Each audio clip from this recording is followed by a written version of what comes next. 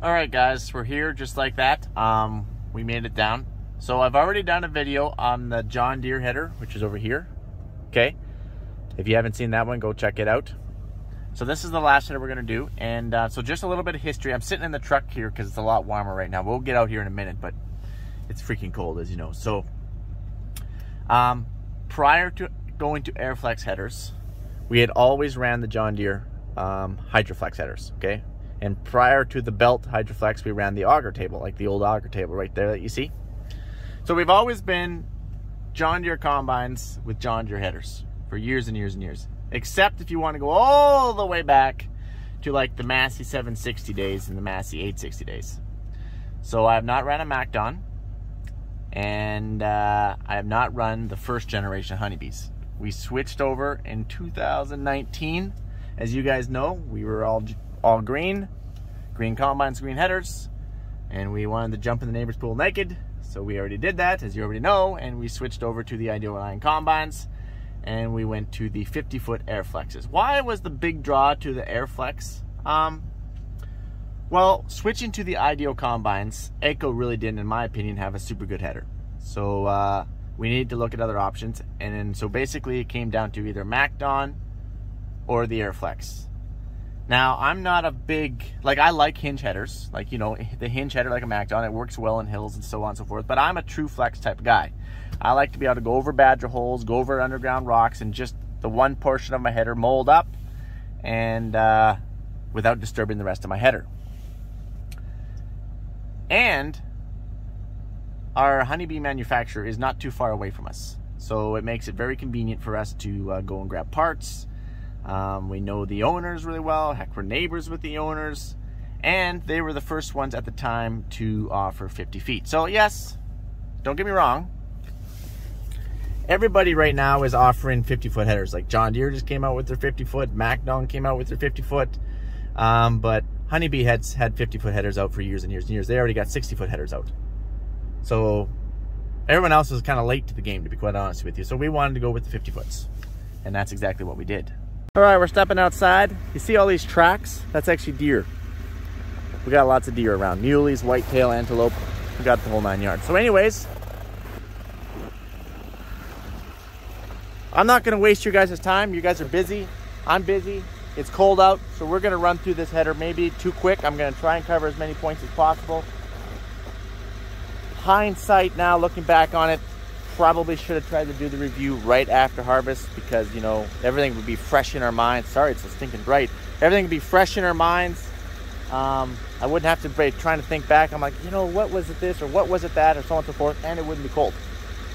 But didn't have time at the time. So anyway, let's just do a quick general walk around first, okay? So we got the 50 foot Airflex, and then um, it comes with the P auger or canola auger, which is pretty much what we use. It goes all the way to the end. It's a lot smaller than the Deere one, so that's kind of nice. Comes with its own transport. Right now we have the ideal hookups. Gauge wheels, we'll talk about that. Then comes the front transport, we'll talk about that. It's got split reel, talk about that. Um, the canvases are all one. We'll talk about that. Like all one as in like one solid canvas. Remember the Deere, they split them in half. Knife drives are up here on the front. Unlike the end drives on the John Deere. Oof, we got some serious snow we're walking through here. Transition plate, we'll talk about that. Great big one. And then uh, on these ones, we do have the simple monitor. We'll talk about that. So these are 2019s. So let's get to First off, cons. Uh, I always start with the cons first. Con number one to Mike is this here sensor bar, okay? Now, this runs all your, like this is a very important sensor bar and there ain't much to it. See that? Ain't much to it. We've already talked about the John Deere header being as tough as nails. Fence posts, signs, stop signs, power poles, doesn't really matter. You can mow them over. This thing works great, but I like to call it the princess header. It looks good. it works good. It's just very delicate. Okay, you got to be careful with this here. You can't just throw a hired guy on this thing. And say, hey, hop to it. There you go. Um, first power, power pole, first fence post. He's going to try and clear because you know you got to try and get these things through gates. We got to get through gates. We got to try and go over signs on the road allowances, right? Because we're moving, because we have to move. Well, most of our land's blocked up, but not all of it. We got to move down the road. It can't be unhooking every time. That's just not practical. Heck, even in crop, so let's talk about this sensor bar for a second. There needs to be, there needs to be something, maybe it be some one by, or whatever it is, two by two, whatever it might be, run all the way down here from that brace to this brace. This bar needs to be protected because we have ripped these sensor bars off, I don't know, many times, okay? So for one example, we were driving down a dirt trail. Like this is a dirt trail, okay? And the trail has been sunk by like two feet, so which means the field is actually higher on both sides, all right? And uh, so we're moving all the combines down and we're standing durum crop or wheat crop on each side and we can't lift our headers high enough because we've got to remember this is the lowest part of this header when it's on your combine up in the air going down the road. This is the first thing that's going to go, okay? So this actually got brushed off by standing wheat, okay? So the standing heads are up here and they're all kind of putting their heads around it. We can't lift any higher, rip them all off, okay? That's a big stinking pain in the butt. It's not fun to put them back on. Fortunately, we're not too far away from the manufacturer, but in my opinion, this sensor bar has to be protected at least from here to here. Not trying to clear fence posts and power poles and stuff like that up here, but at least needs to be protected from here, okay? Con number two, the transport. Okay, it does come with its own transport, but it's not integrated, okay? Which means unlike a MacDon or something or the Deeres, they just rotate the tires and it's all part of your header. You have to disconnect this and the front and you're gonna leave it wherever you happen to unhook your combine, okay, or hook up your combine. So maybe you unhook one at one field here. I'm starting to get cold. Whew. And, uh, you know, you do a couple sections here and you do a thousand acres over there and you do another couple thousand. Before you know it, you might be 30 miles away from where, because you've just been working yourself all the way around you might be 30 miles away from all your transports. Now you got to go send like seven or eight trucks to go pick up all your transports. So that's kind of a pain in the butt. I'd like to see somehow that I can keep my transport with my header. So that way when I need to switch over, no big deal. I just quickly switch it over and we're off to the races. Okay. Next con, con number three, is your gauge wheels. These wheels are far too small. They need to be a full size, and I think that is an option now. And in my opinion, they need to be farther out. Need to be out closer out to here. You got too much header hanging off the back from these wheels, okay? So if you're in some rolly ground, you're gonna smack that header into the hill before, and this is what, this is how it monitors. This is on your sensors, okay? Before uh, your gauge wheel starts to tell your combine that you need to start picking up that feeder house, all right? But I think the reason why they put them here is because this is one of the main support braces. So they probably wanted to be inside that. But I'm just saying, I think it needs to be like over here. I don't, maybe right here. But I, anyway, it needs to be farther out. Next con is these jacks. I'm just gonna take this off for a second here. Whew, I'm getting cold. I'm trying to work as fast as I can. When you're jacking these things, you gotta jack these things up or down. So when you're all the way up, that means you're in flex mode. So when you want, you need to put these jacks down to get this all the way down. So it's just a jack, you're lowering this wheel so that way you're in rigid mode. And then all you do is you gotta switch it to rigid on your monitor. They have since put an airbag on here, so there is an update. They did away with the jack, but since we are working with the 2019, this is what we're working with. This has to be a con because this is a knuckle smasher. This, this jack up here adjusts your P-auger, okay? It just happens to be in a bad spot that they're both very close to each other. And as you're jacking, snap, bang, bang, bang, bang. All right? That's not real fun on the knuckles. It gets really old. You get the idea. That's a con. Put this back There we go. All right. Okay, so next con is the transition plate. So this here is a transition plate, okay? This is a very large transition plate. When you are in flex mode, this levels out more. Actually, no, correction, when you're in flex mode, this is the most steep. It's at its steepest point in flex mode. And in rigid mode, because you suck this up, by sucking this thing up, it actually levels it out more. Okay? I've said many times, the transition plate on the honeybees, it's a love-hate relationship. It completely depends on what you're cutting. And a whole other bunch of factors on that as well. So for example, if you're in lentils, you're gonna love the transition plate. If you're in a good crop of lentils, you're gonna love the transition plate because that great big stone dam basically is keeping all your rocks out, it's keeping all the dirt out. Um, it does a really good job on sifting all that crap out before it gets into your combine because you don't want to be taking rocks in your combine. That causes a lot of thousands, thousands of dollars worth of damage. But since we're talking cons, it's a con because if you're in thin crops, light crops, it also keep those out. and what I mean by that is, since it's got to go up so far, if you're in a really thin crop, and you got to remember that this year we cut a two bushel lentil crop, four bushel durum crop, right? Which is terrible. That's just, it's barely even worth us cutting. That's a whole other story. We need the seed. So and yes, you can lower your reel down to basically brush this. You can brush it pretty much, right? Until the first badger hole that you might go over, or the first underground rock deadhead you might go over, or first gopher hole you might go over. Since it's a true flex, maybe it just flexes this part right here. And then you're gonna shave your fingers off in that section because you went over that badger hole. If you had a MacDon or something, you're gonna be more hinged, you're gonna be more rigid. It's harder to shave any fingers off on something like that because technically you're rigid, you're just hinged, okay?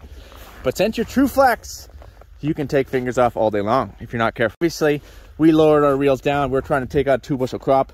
A lot of it's just sitting right here. We can't hardly get it up, okay? Can't hardly get it up. Also, uh, tough crops, wet crops. If you have green straw, green wheat, maybe you're going around a slough, cutting around a slough, maybe there's some really thin green stuff, whatever, and it's just gonna stick to this stainless steel transition plate Maybe you're out there in a drizzle. Maybe is there some rain coming, your combine, and you're like, I ain't stopping, boys. We ain't stopping until we literally get rained out. Excuse me. The minute this catches any kind of rain, when this gets wet, it will stick to everything. Everything's gonna stick to this transition plate. You will basically cease the combine when this gets wet, okay? Because you just it's just gonna build up, build up, build up, and then eventually it's gonna uh, stop cutting because you got so much material on your cutter bar that you're not going to be able to cut it anymore, okay?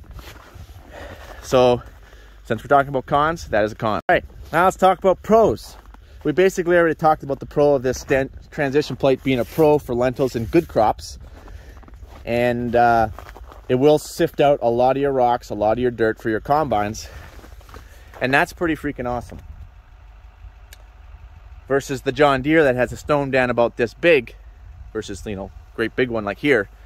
You're you're collecting everything, man. You go over a badger hole or gopher hole, it's all going in your combine.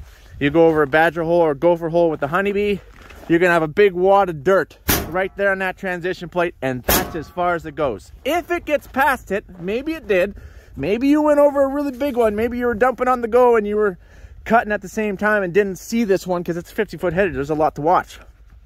Let's, let's just say it gets past.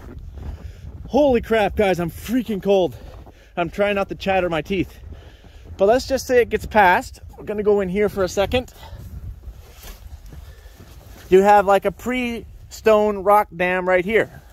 So all your rocks and your dirt are gonna get right here before it gets to this belt. This belt's gonna take it in your combine. Hold on here. Boom, you wanna dump it, you just open that thing up, brush out, pretend this is, this is your dirt. Okay, brush it all out grab it. It's just an over-centering latch. Bing, bang, chelada. You're off to the races. The honeybee headers work really well, um, keeping the rocks and the dirt out of your combines, okay? That's a big pro. Whew, hey. Next pro, obviously P-auger. Um, it's a decent size, it works awesome. Also using canola, goes right to the end. That's a pro.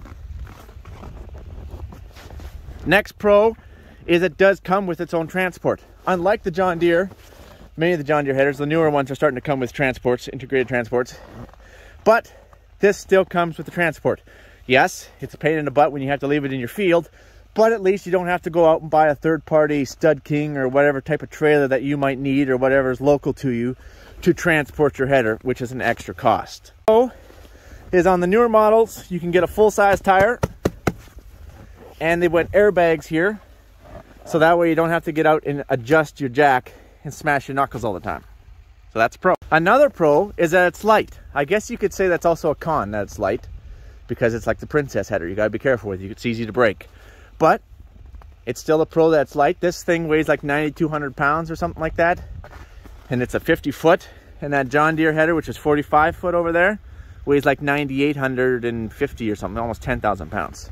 So this 50 foot honey, Honeybee Airflex is lighter than a 45 foot John Deere header. So that's a pro and a con depending on which way you look at it and how many fence posts you want to mow over. Um, let's talk about the monitor because they did do a monitor upgrade. I think they started from 2019 and up. They did a monitor upgrade. So uh, we have a super simple monitor. I wish I had it here to show you guys. I don't and I'm not. I'm too freaking cold right now to go find it. But anyway, it just suction cups onto the side window. I think you guys have seen that in my combine videos. It just has like three toggle switches. It's pretty simple. You toggle switch one to go flex, toggle switch the other way to go rigid. Then you have uh, your uh, air compressor on off because they have they have an integrated air compressor on these things because they are an air flex and they, I'll show you that actually. They do run airbags. See these airbags? There's nothing hydraulic about it like the Hydroflex is hydraulic on the John Deere. These are all ran by airbags, okay?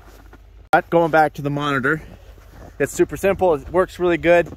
And then your next set of toggle switches, I think, is just because over here. Oh, I don't know why this is open. Because it's missing its pin here. that doesn't look good, but anyway, that's our fault because there's a pin. We're missing a pin. Anyways, this cylinder right here on this, uh, I don't know what you want to call it, adapter plate. We'll just, we'll call it that for the sake of it being cold outside and Mike just wants to speed through this. Um, you have an extra cylinder here, which you don't have on your John Deere. So our feeder house on our combines, they, they go like this, okay? But they also go like this. So that's on our combine. So you can still hook up to the Honeybee header and uh, you can hook onto the John Deere header and you can tip your header down on the John Deere via your feeder house. You can do that on the Airflex as well, but on top of it, which is a Pro, you have more range yet because you can release this cylinder and it tips the header down even more or sucks it up depending on what you want to do. So you just got a lot more range. Also another another pro is like I said is this adapter plate. Um, so as you know on the John Deere, except for the new ones that they're coming out with, um, they're rigid. It's just a rigid header. You hook up to it right here. The thing's 45 feet of solid rigidness. Yes, the table is a Hydroflex, you know, it's a flex. But as far as hooking onto your combine, if you want to ram that thing into a side hill, it's basically like it's literally pinned onto your combine, like you'll do damage, right? And you'll still do damage to this thing, but with this adapter on here, it already has a certain amount of range that it can do this. So before it actually starts activating the hydraulics on your feeder house, right? So maybe you maybe you're not paying attention, you're dumping on the go or something, and you start running up a hill on this side like this, it's already moving the range on this thing while it's sending the signal to your combine. So it's just a little easier. I like it. Also, another perfect example, um, and this has actually happened. I think I, I told you guys this in the John Deere. Sorry, guys, my teeth are literally chattering in the John Deere. It's only like minus 50, no big deal. Um, video. We were driving along combine like five mile an hour or something, which is not a fast speed combine, with a John Deere 45 foot Hydroflex over there. And we were going across the drill sprayer tracks, or maybe we were going the way it was seeded. We typically always combine the way it's seeded, but for some reason the sprayers went the other direction for whatever reason. That's a whole other story. Anyways, they're on the 710 tires, the big floaters on the sprayers, and they went through mud and left those great big ruts we were combining along and with the duals you fell perfectly into those ruts and of course we're only cutting it like you know that high off the ground And that thing, it, it was violent. It was just like, bam! Like the whole 45 foot header just boof! It just smashed it right on the ground. Luckily it's John Deere, you can't break them, right? Um, but it was very violent on the header and the combine where when you have the gauge wheels, which is another big pro, and you have that adapter plate, it takes a lot of that shock and absorb out of there before it has to get to your feeder house to start activating it. So it's just another, basically, it's like a backup system. It works awesome. It just, your header moves and molds and shapes and falls to the ground a lot better with the plate and with the gauge wheels versus being stationary to your combine, okay? Oh, whew, my phone is saying it is too cold. Actually, that's a thing. It's saying it's too cold. We gotta speed this up. Um, I'm sure I have forgotten a few things but I do believe that I got the basics of them. Let's talk about now. Uh, let's talk about um, operation. How do they work compared to like the John Deere? Well, like I said, the John Deere worked better in the thinner crops. It had a very small transition, not hardly even a transition plate, like a little stone dam thing. It's about this big. You know, you have a two bushel crop falling at right to the combine. It goes no big deal. Um, this one has a large one. So this year the John Deere worked better due to it falled. I shouldn't say it fell to the ground. Same conditions, condition to condition, same condition. I would say the honeybee falls the ground better just due to the transition plate and everything. It just falls, it molded to the ground better. 50 feet molded to the ground better than the 45 foot John Deere. But in saying that, you can hug the ground all day, all long, however many hours a day you want to. But if you have a really large transition plate and a really thin crop or green crop, it just doesn't want to go up. So on a normal year, an average year, what is average? I don't even know anymore, but the Airflex will cut and do a better job. But this year, the John Deere did a better job. So that's why we run both. Every year is different. Um, also, I just want to quickly talk about uh, the canvases. The John Deere has split canvases. This thing has this thing has one solid canvas, which means it's just one great big belt and it's joined together. Uh, I, I, would think that would be easier to change. It has a joiner. I haven't actually done it yet. But uh, the John Deere, they have split canvases and you have to pull everything off the front because there is no joiner on those canvases. So in summary, the header works the header works good. It's a princess header. You gotta be careful with it. They break easy. We need to get protection on the sensor bar. I like that they're coming out with bigger tires and the airbags on the on the gauge wheels. I think the gauge wheels need to be moved out farther. Nothing you can really do about the transition plate. It's just a love-hate relationship. It works really good when you're in a normal crop. Uh, it's just it doesn't work very good if you're in a thin crop. At least in my opinion, it doesn't. Not compared to like the John Deere. Um, let's talk breakdowns, okay? Let's quickly run over some breakdowns. We've had a few breakdowns with the John Deeres, and we've had a few breakdowns with the Honeybees. Obviously, the sensor bar. Uh, we've had some bearings go. This is your uh, this is your knife drive. We've had a few knife drive bearings go. This one right down here. Hold on. That bearing's gone a couple times. I think almost in every header that bearing's gone, which is kind of concerning that they're only 2019s. Um, we've had a few air leaks. You try and keep air like in a tire and stuff. Well, just imagine a bunch of airbags. Luckily, they have the integrated um, air compressor. Uh, what else? Bearings. Those bearings. Oh yeah, we've had a few. We've had a few of these bearings go.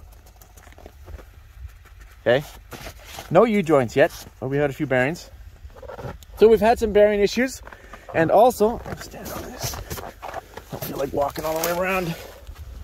Those are our knife drive, those heads right there. See if I can zoom in on those. Maybe I can't. Here we go. Right there. It's because it's center knife drive. We've uh, broke a few of those. But maybe two, maybe two or three, so not too bad. All in all, they've been pretty decent. Um, pr we've probably had more bearing issues than anything. Knife drive bearings and these bearings. And I don't think those bearings should be going yet, to be quite honest with you. That's, that's a bit of a concern to me. Had a few hiccups. I don't know if it's combine side or header side. Combine people blame the header side. Header side blades the combine people as they always do. Um, you go hit your header return button and it drops your header too fast. And uh, it'll actually push down on these caster wheels and uh, we've broke, we've ruptured uh, the tire by pushing down on it too hard. Or maybe you're just combining down the field and uh, everything's going normal and then you look over and there's a lot of squat on these tires. You're like, there should not be squat on these gauge wheels. And it's pushing down on it too hard. So I don't know. We'll see in the future where that all goes, but we have ruptured a few tires because of that. I already covered the breakdowns on the John Deere. Obviously, this is a brand new header. We did lose the P-auger. um, you're not going to break these things like they're, these things are rock hard. But on the previous gens, I don't know about these ones, their weak point was this flat bar. So the flat bar is where your guards bolt to here. It's actually like about this wide. A flat bar runs down your header. It would break right here in this corner. That was very common to break the flat bar. We've broke many of those and then you have to replace the, uh, I think they came in 20 foot chunks or something like that. And then uh, roller bearing sensors on the John Deeres were very prone. It happened quite often. I'm trying to think if we had sensor issues on the Honeybee.